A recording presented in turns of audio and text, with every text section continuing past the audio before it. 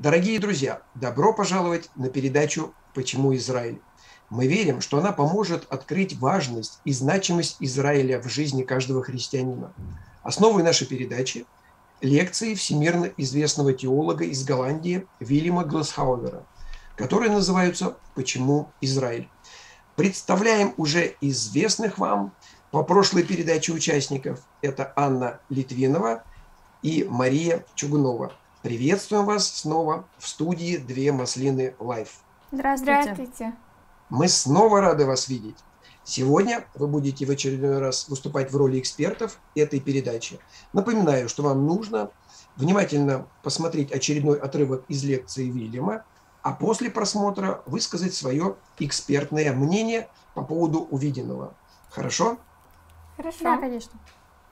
Ну и если у вас появятся вопросы, а было бы очень хорошо, если бы они у вас появились, может быть, несколько даже вопросов, то уже э, после просмотра вы можете их озвучить, а пока записывайте их на листочке. И, конечно же, э, всегда вы можете задать вопрос нашему главному эксперту Анатолию Ермохину. Он снова с нами на связи. Анатолий, мы тебя приветствуем. Я вас приветствую.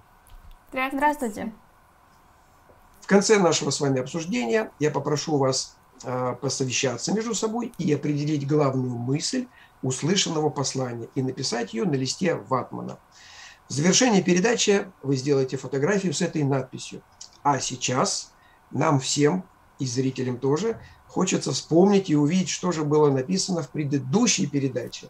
Поэтому покажите нам, пожалуйста, то, что вы писали в прошлый раз. Вот, хорошо, отлично. Спасибо вам большое.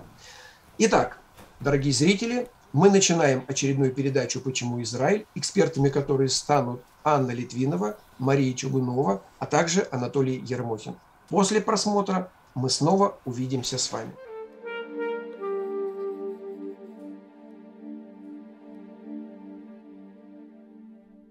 So from the Bible, Согласно Библии, на Ближнем Востоке должно произойти по крайней мере еще пять войн. Иисус сравнивал боль и страдания последних дней с родовыми схватками или с муками роженицы. У меня четверо детей, и я был свидетелем появления на свет каждого из них. Единственное, что может сделать муж в это время, это держать жену за руку. И как только это начинается, жена еще не уверена, но она думает, что это могут быть схватки. И уже через несколько часов она определенно точно знает, что это начало родов. Мышечные сокращения постепенно нарастают, перерывы между ними становятся короче, а боль постоянно усиливается. И во время последней стадии, когда внутреннее давление становится достаточно сильным, чтобы вытолкнуть младенца, единственное, что может сделать муж, это быть рядом со своей женой, держать ее за руку и молиться о том, чтобы все прошло благополучно. И вот, наконец, рождается ребенок. Тогда очень быстро забываешь всю боль от радости человека, который пришел в мир. Иисус сказал, что в последние дни, перед наступлением Царства Божьего, весь мир будет охвачен родовыми схватками или муками, это начнет происходить постепенно, но затем интенсивность этих событий будет нарастать, и за одной волной будет следовать другая все будет намного более интенсивнее, чем раньше. В прошлом столетии мир пережил две мировых войны, и подобное, несомненно, произошло впервые. Эти войны вместе унесли больше жизней, чем все предыдущие войны вместе взятые. Сегодня в разных регионах мира учащаются происшествия, бедствия, такие как землетрясения, беспорядки и так далее. Поэтому я полагаю, что нам следует ожидать новых войн, которые захлестнут Ближний Восток. Но в сердце конфликта это самое место, гора Мория, гора Сион. Я хотел бы упомянуть лишь несколько войн, о которых говорит Библия. Например, в книге пророка Исаия, 17 главе. Мы читаем следующее. Пророчество о Дамаске. Вот Дамаск исключается из числа городов и будет грудою Итак, Дамаск, столица Сирии, станет грудою развалин. Но этого в истории еще никогда не происходило. Так говорит Библия. В один день Дамаск превратится в груду развалин. Но каким образом? Библия не говорит, как это произойдет. Может быть, в результате землетрясения или войны, кто знает. Если Сирия развяжет войну против Израиля, то Израилю, стоя спиной к стене, может быть, придется в свою очередь напасть на Сирию и разрушить город Дамаск. Кто его знает? Но это обязательно произойдет. В книге Псалтирь 82 говорится о том, что враги Израиля, окружающие его со всех сторон, внезапно нападут на него. В книге Исаия 19 главе говорится о конфликте между Израилем и Египтом и о том, что Египту будет нанесен такой сокрушительный удар, который заставит египтян оставить своего Бога Аллаха и обратиться к Богу Израиля. Это невероятно. Прочтите 19 главу книги пророка Исаия. В 38 и 39 главе пророка Иезекииля упоминается о втором круге врагов Израиля. Может быть, это Россия, удар который будет таким же внезапным, как гром среди ясного неба.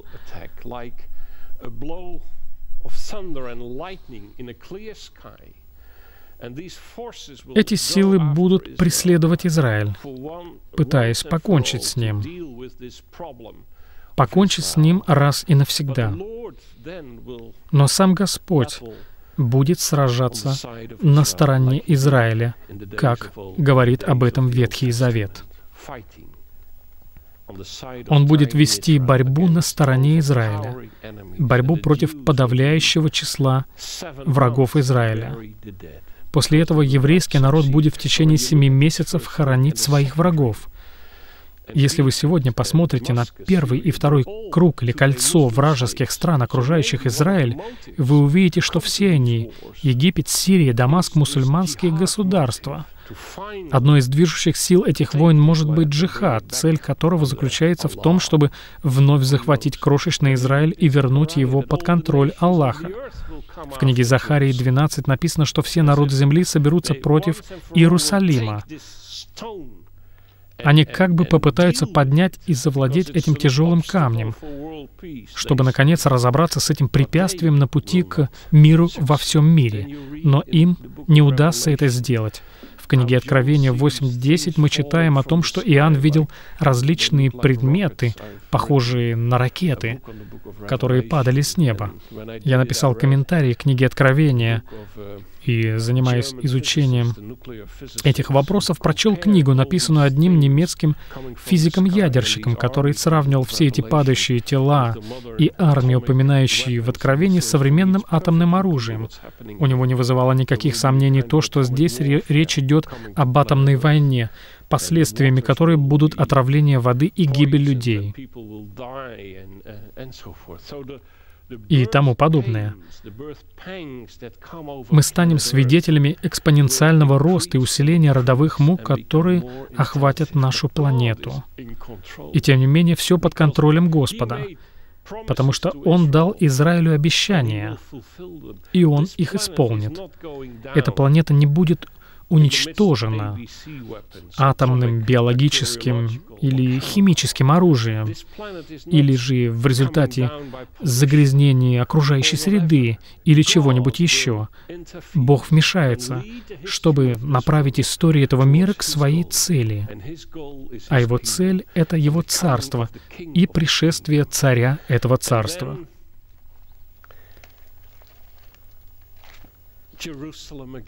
И тогда Иерусалим вновь станет центром всей земли, откуда Бог будет благословлять мир. Библия однозначно утверждает, что настанет день, когда из Иерусалима начнет проистекать мир, который наполнит всю землю, и народы больше не будут учиться воевать. Великий Царь Израилев, наш Господь Иисус Христос, воссядет на престоле Отца своего Давида. Будет так, как говорил Архангел Гавриил его матери Марии, когда возвестил ей о том, что она родит особенного ребенка, который воссядет на престоле отца его Давида, и царству его не будет конца.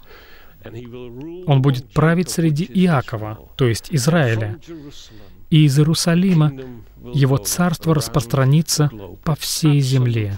Это неопровержимый факт. Еще один факт заключается в том, что однажды та слава Господа, которая покинула храм и переместилась к востоку, в один день вновь вернется в город с востока. Только подумайте, как это чудесно, что Иисус вознесся на небо с горы Елеонской, и что когда Он спустится с небес, стопы ног Его вновь ступят на это место. Давайте прочтем из книги Иезекииля 43 главы и привел меня к воротам, к тем воротам, которые обращены лицом к востоку. И вот слава Бога Израилева шла от востока, и глаз его, как шум вод многих, и земля осветилась от славы его. Это видение было такое же, какое я видел прежде, точно такое, какое я видел, когда приходил возвестить гибель городу.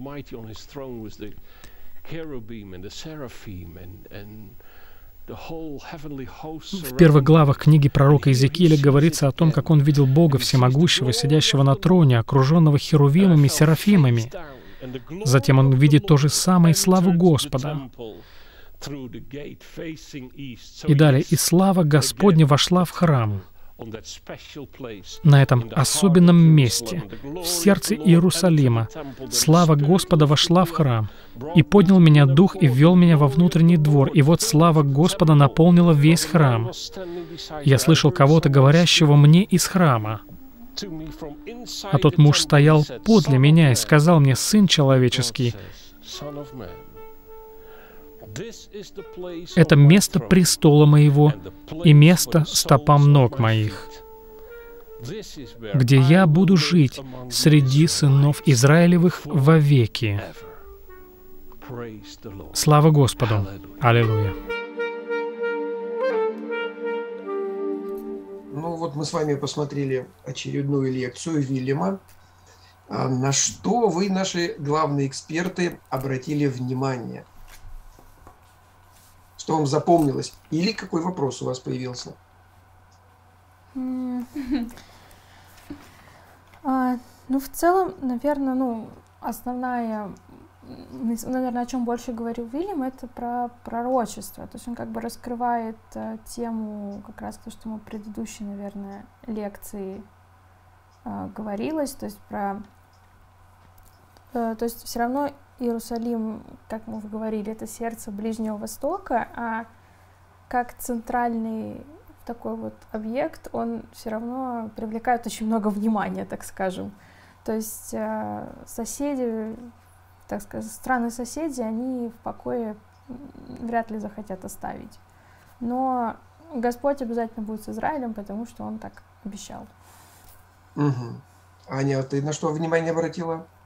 А, очень интересные моменты, а, например, про Египет, да, что, да, вот эта тема, то, что война все время вокруг а, Израиля, и что я, как я поняла, будет даже такая война в, в ходе которой египтяне, ну, Египет обратится к Богу Израиля. Вот, ну, тоже такой интересный момент, да, то есть обращение мусульманского государства, вот, по сути. И еще э, у меня также возник вопрос, потому что в процессе описания, да, вот э, из Библии, куда, э, на какое место придет э, Христос и где будет явлена э, слава Господа, то есть и написано в сердце Иерусалима в храме. И мне стало интересно, а вот сейчас этот храм на самом деле существует, и если да, то э, он, где он находится? Он сейчас находится на территории ну, нынешнего, да, Израиля и Иерусалима? Если вот такой вот, если можно. Ну, хорошо, что у тебя появился такой вопрос. Я думаю, чуть позже на него мы попросим, чтобы нам ответил Анатолий. Но вот опираясь на слова, э, которые сказала Мария, о том, что пророчество, вот она обратила внимание на пророчество, что часто Вильям говорил. Вот я хочу задать вам такой вопрос, с чего бы мы начали бы сейчас. Что в пророчествах сказано о предстоящих войнах. Вильям говорил, как минимум пять даже должно быть.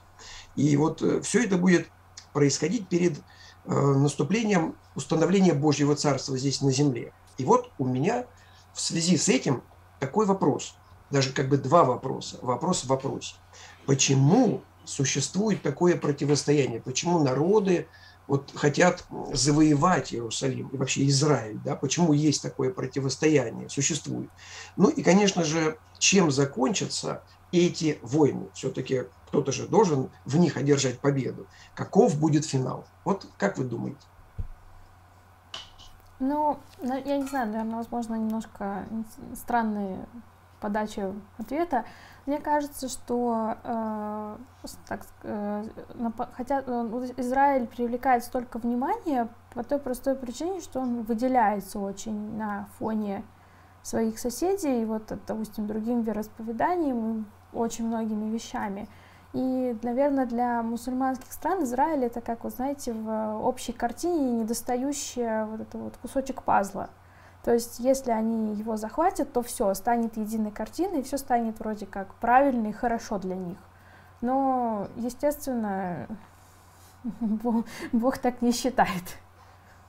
То есть, наверное, просто, ну, в любом случае, если на Израиль кто-то посягнет, ну, скорее всего, так и будет, то Господь э, по своему обетованию будет э, за Израиль и будет, э, конечно же, как-то ну, всячески помогать. Угу. Что, что сказать? Может быть, Анна хочет что-то добавить? А, ну вот знаете, когда я услышала этот вопрос, я ну сразу, ну, меня не было определенного какого-то вот четкого ответа, потому что на самом деле причин очень много. Мы э, некоторые из них э, знаем, очень ясно э, осознаем, почему. Некоторые мы даже не знаем, но э, я думаю, что еще одна из причин это то, что э, ну, даже сам Господь, да, если в Библии об этом написано, это пророчество, значит, это точно будет. И, э, и люди, которые хотят войны, они всегда находят причину для нее. И вот э, я очень, я прям согласна с Машиным, с Машиной интересной точкой зрения насчет пазла, да, потому что действительно все соседи это мусульманские страны, и, и у них вот это все как э, Израиль для них как триггер такой, что да. как так можно, почему другая религия, какой Бог, наш Бог самый правильный, да, самый вот вот он, да, у вас нет, и ну я думаю, да, что вот эта именно религиозная э, проблема, она, наверное, самая первая. Вот, ну, как на мой взгляд. Духовный вот. конфликт. Да. Все-таки пытливый человеческий ум хочет понять, почему. Давайте спросим у Анатолия.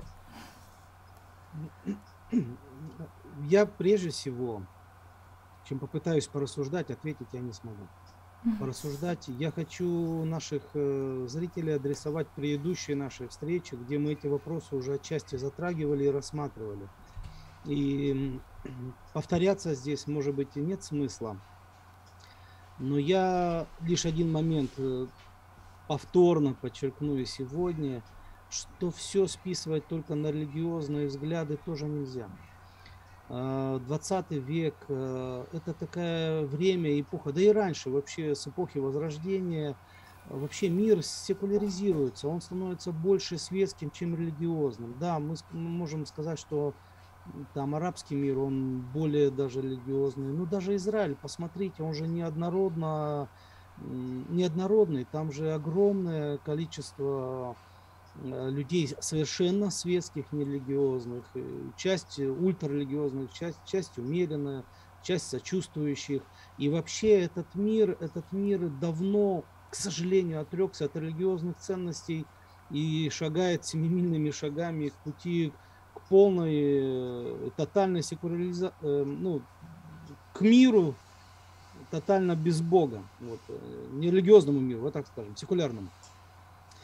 Поэтому сбрасывать со счетов или все списывать только на религиозное противостояние не могу. Для меня все экономическое противостояние, геополитическое, чисто политическое, это политика, это борьба там в Израиле, на Ближнем Востоке, палестинцы с арабами, так это просто бизнес, простите меня. Они на, на своей э, войнушки и революции, по-другому не могу сказать, они просто кормятся, их весь мир содержит и кормит. Это же очевидно, давно бы построили свое независимое и сильное государство, возможности было, развили бы свою экономику, но им выгоднее ничего не делать, но воевать и, и получать спонсорскую поддержку. Поэтому чисто свести в плоскость э, вот этих противостояний и войн я не могу, и мне кажется, и эсхатологические войны – там тоже будет не чисто религиозная борьба одной веры, одной религии с другой. Все будет сложнее. А, а чем закончится, у Кирилла был вопрос, мне кажется, лучший ответ на любой эсхатологический вопрос – это «поживем, увидим». А вот что предрек Бог, это вообще очень непростой вопрос. Кирилл говорит, все движется к установлению Царства Божьего. Какого? Тут тоже разные взгляды. Я, например, э, многие годы приверженец так или придерживаюсь идеи диспенсационализма. Вы можете погуглить, посмотреть, что впереди нас ждет целых два эсхатологических периода, не, не один раз и пришел Мессия сразу Царство Божие. Нет, пришел Мессия, еще целое Царство Христа. Оно же в иудейских взглядах называется времена Мессии Емеха Хамашаах. Каббалисты назовут седьмая тысячелетняя суббота. Языком книги Откровение Иоанна Апокалипсиса – это тысячелетнее царство. Оно же царство израильское, смотрим Деяния первая глава или ветхозаветных пророков. Это еще тоже такое царство Божие, но еще больше царство Мессии, когда все враги будут побеждены. В конце концов он передаст это царство Богу, и будет Бог все во всем, и будет новая земля, новое небо. Целых два этапа как это Царство Божие придет на эту землю. Это непросто, непростой вопрос. Хорошо, спасибо. Э, ну, давайте поговорим вот еще о чем. Независимо от противостояния, Бог, Он вмешается в эту ситуацию, Он будет защищать Израиль, как сегодня уже мы услышали. Э, и от Вильяма, и в ответе, по-моему, Марии это прозвучало. Но Вильям еще сказал такую фразу, которая мне запомнилась. Он сказал следующее, что Бог хочет направить историю этого мира к своей цели. То есть, иными словами, что бы ни происходило, он в нужное русло всегда направит. Так вот, вопрос у меня сейчас будет очень простой. Возможно, ответ будет сложный. А звучит он так. А какая это Божья цель? Какой цели? Вот давайте послушаем. Может быть, Анна скажет или Вы сказали, Мария. это, это был простой вопрос. Он короткий. Какая это цель? Ну, а, мы высказываем свое мнение, правильного ответа нет. ну, Наш главный девиз.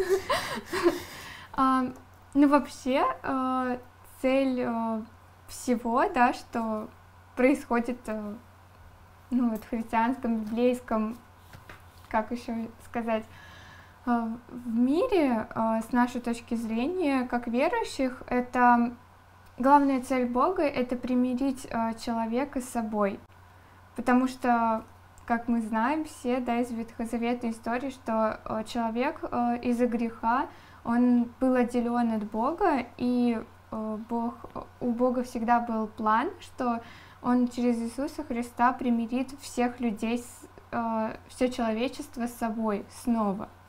Вот. Я считаю, что ответ, скорее всего, такой.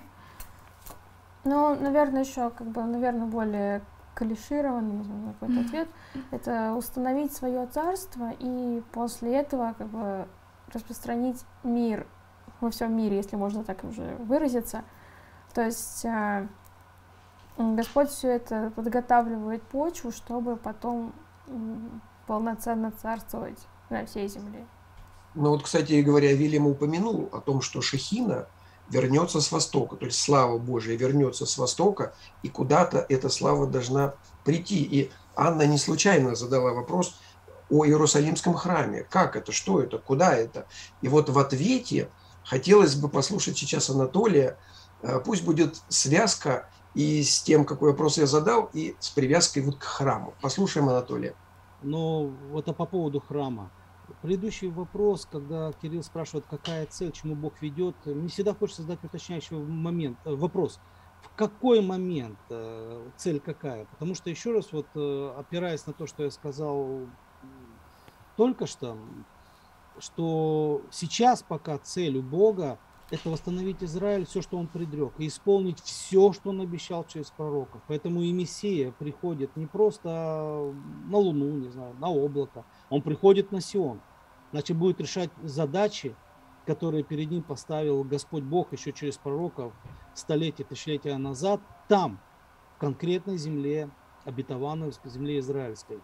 И в тот момент он должен будет восстановить Израиль, э, наказать язычников, сесть на престол, установить правление и исполнить все, что он обещал еврейскому народу, потому что у Бога нет неправды, смотрите, э, читайте апостола Павла, Римлян с 9 по 11 главу. Бог должен все исполнить.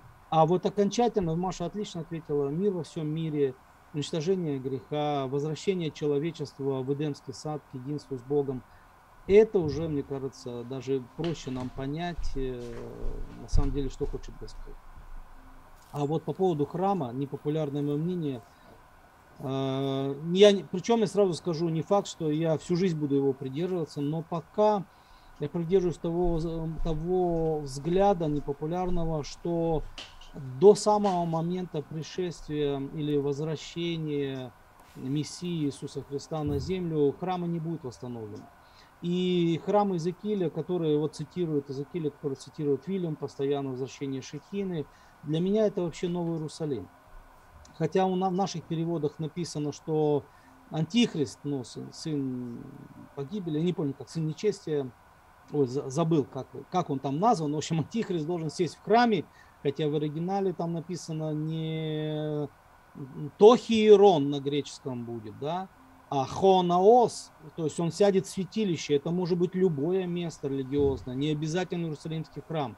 Тенденция переводить как храм, это она понятна, всегда хотелось обвинить евреев, вот даже антихристу евреев там сядет. Не факт, что подразумевается Иерусалимский храм, то хиерон на греческом будет, храм. И то же самое про Новый Иерусалим, хотя и у нас в сандальном переводе звучит, храма там не будет. Там не будет хонаоса, святилища. Но если вы обратите внимание, то есть потрясающая параллель между Закиилем и Новым Иерусалимом. Многие это подмечают. И в описании Закииля, и в точности прям слово в слово повторено в Новом Иерусалиме будет река жизни, и дерево жизни, приносящее плод 12 раз, и листья для исцеления народов. Об этом говорил Закииль, и это мы видим в Новом Иерусалиме. Я подозреваю, что Новый Иерусалим это вообще город-храм. Только без святилища, потому что греха не будет. Не нужны будут жертвы не надо будет никого освещать. И, возможно, вот туда, вот туда, в то место вернется Шехина Божья. А пока у меня большие сомнения о том, что Иерусалимский храм до, до того самого момента, до Нового Иерусалима будет восстановлен. По крайней мере, мне не хватает аргументов сказать, почему, причем, почему это хотят евреи, израильтяне, мне понятно, это восстановление национального самосознания, гордости, религиозных чувств. Мне все это понятно, мне не совсем понятно, зачем это нужно Господу Богу. Вот такой непопулярный ответ. Да, непопулярный. Э, и, а вопросов много, Анатолий, не только это. У многих есть вопросы, на которые мы пока не находим ответы. Ну что же, мы должны выйти уже на финишную прямую.